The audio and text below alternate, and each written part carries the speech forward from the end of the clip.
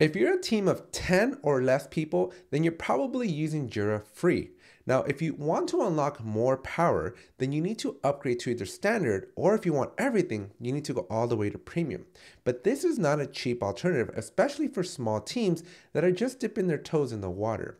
But fortunately for you, I found a way to basically unlock Jira Premium or Standard for free indefinitely by starting a free trial. Now I'm going to show you how this works in just a second. And before we do, I want to remind you that there's a link in the description down below that is going to take you to my paid courses. So if you're looking to take your Jira skills to the next level, make sure you check out my Jira fundamentals course down below because these courses are designed with you in mind, the beginner, the novice, the person that hasn't been using Jira for a really, really long time, but you're really wanting to learn how to take your skills up and this is going to be the course for you. So let's go and talk about how to essentially unlock unlimited Jira features for free as long as you have a team of 10 or less people.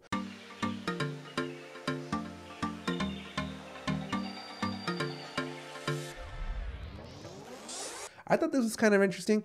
I can't believe Atlassian allows you to do this. So take advantage of it before Atlassian closes this loophole because I have a funny feeling that after Atlassian sees this video, this loophole may not last for a long time. So let's take a look. So a little backstory here. I essentially have a free version of Jira software that I recently upgraded to Jira Standard. Now, when you do this, you get a 14 day trial. As you can see here, my next billing date is January 14th. And so all I did was I stopped my free 14 day no cost trial and I changed it back to the free version. Now, I never had to put in my credit card information. I never had to do anything, and I haven't had to pay for the features. And so all I did was basically downgrade from standard to free. And as you can see, I am now on Jira free. So this means that I have temporarily lost all the capabilities that is unlocked with standard. Now, immediately after I downgraded to free, I essentially went right back into the billing page and I upgraded to standard for a free 14 day trial.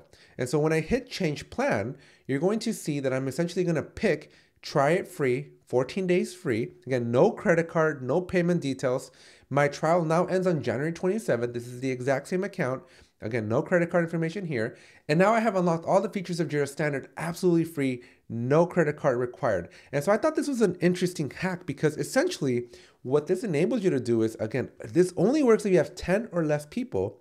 But this basically means that every 14 days or every 30 days, if you upgrade to premium, you can essentially change back to free and then immediately turn around and get back on the trial. So you'll never have to put in a credit card information, you'll never have to pay for Jira, and you're still gonna be able to enjoy all the benefits. Now, I thought this was really weird. I don't know how long this is going to go, but I'm going to continue to do this trend to see how many times I can restart this trial. So far, I'm on the second trip, but I'm gonna see if I can do it a three, four, fifth, or sixth time, because if you can't do this, then this is an interesting way to really, really get free Jira. Again, no bells or whistles, no clickbait here, as long as you have 10 or less people. So let me know in the comments, what do you think? Have you ever tried doing this before? Would your team take advantage of something like this? Is it unethical? And should Atlassian close this up?